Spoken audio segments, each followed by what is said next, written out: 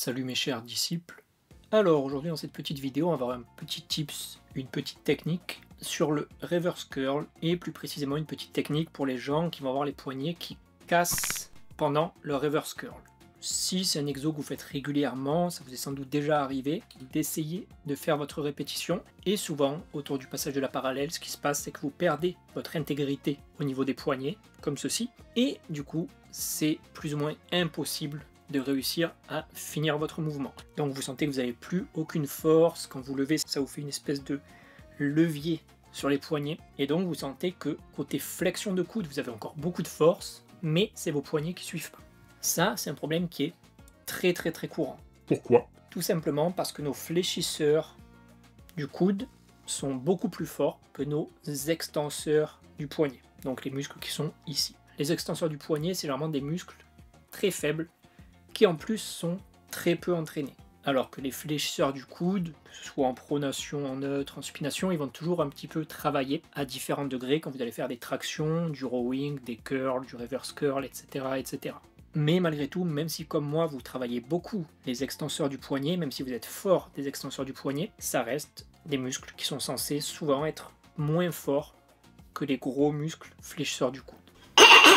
Malgré tout, avec certaines technique, vous pouvez réduire fortement la demande sur les extenseurs du poignet et donc ça vous permettra de mieux travailler au fléchisseur du coude et mettre plus lourd, faire plus de reps sur votre reverse curl.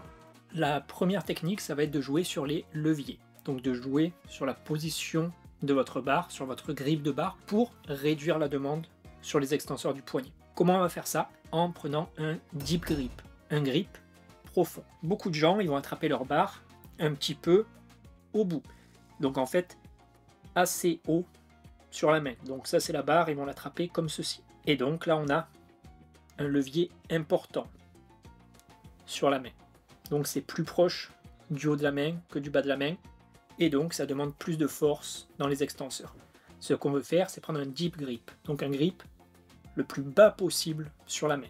Pourquoi? Parce qu'on réduit ce levier. Et donc ça nous demande moins de force pour maintenir notre intégrité au niveau des poignets.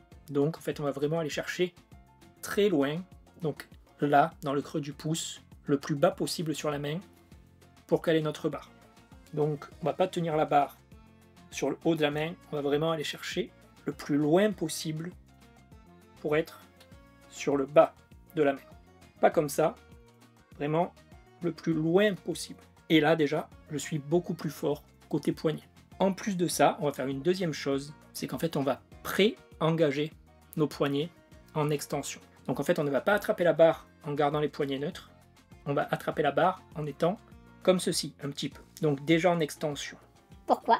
Ça vous donnera plus de marge avant que vos poignets ne cassent. Donc en fait, si je suis déjà en pré-extension, même si je commence un petit peu à perdre mon intégrité de poignet, ben je serai toujours dans un bon alignement pour générer de la force. Si je prends directement en neutre, dès que je vais commencer un tout petit peu à perdre cette intégrité de poignet, je ne vais plus pouvoir forcer et donc sera pas efficient. Et de plus, le fait de bien pré-engager les extenseurs, ça vous permet d'être plus fort dans cette position.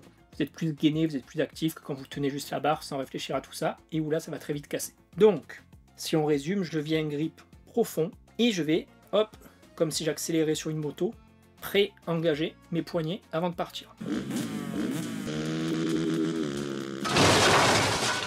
Et une fois que je fais ça, ben là je suis beaucoup plus fort pour faire mes extensions de poignet, comparé à prendre un grip sans réfléchir avec les poignets non engagés, où là très rapidement ça va casser.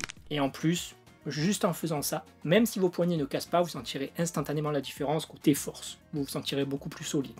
Donc voilà, ces deux petits tips très simples, tout bête. Donc prendre un grip le plus profond possible et on accélère pour engager les poignets. Mais vous verrez que côté performance, côté force, sur le reverse curl, ça fait vraiment toute la différence.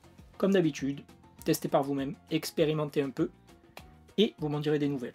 Voilà, c'est tout pour cette petite vidéo tips. Comme d'habitude, ça vous a plu, ou si vous voulez me remercier, n'hésitez pas à laisser un commentaire sous la vidéo. Si jamais vous voulez me soutenir financièrement, vous avez plusieurs choix. Vous pouvez aller me payer un café sur mon Kofi, vous pouvez aller acheter ma superbe merch qualitatif sur ma boutique, ou vous pouvez rejoindre le Temple de la Connaissance qui est le Discord privé. Pour ça, j'ai pas encore fait la vidéo explicative, donc n'hésitez pas à me contacter en privé si vous voulez plus d'infos. Et du coup, les liens seront dans la description sous la vidéo.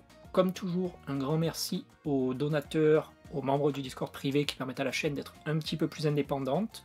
Et enfin, si jamais vous avez d'autres questions ou des demandes, n'hésitez pas à m'envoyer un message sur mon Instagram. Et pour les autres, je vous dis des bisous.